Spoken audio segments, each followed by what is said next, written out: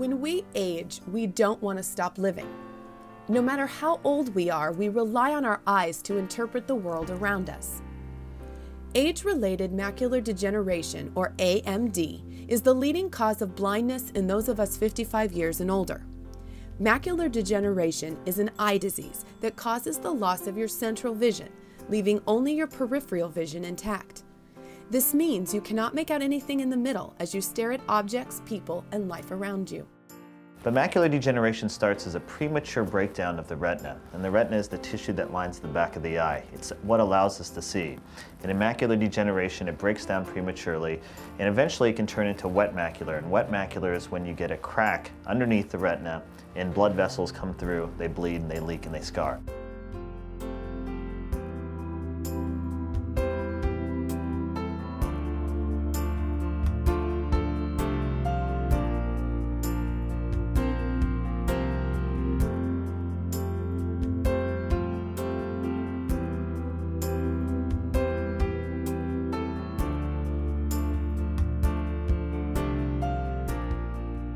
So what can you do to slow down the progression? Well, first of all, diet and exercise are very important. Watch what you eat. A healthy diet is good for your eyes.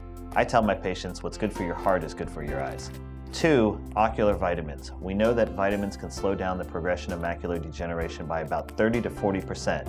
It's probably the most important thing that you can do to prevent macular and to prevent its progression. Regular eye exams and learning about the early detection of AMD may prevent, slow down, or stop your vision loss. Don't take your vision for granted. Find out if you're at risk of losing your eyesight to macular degeneration. The AMD Alliance International can help. Visit amdalliance.org or call 877 AMD 7171 for more information.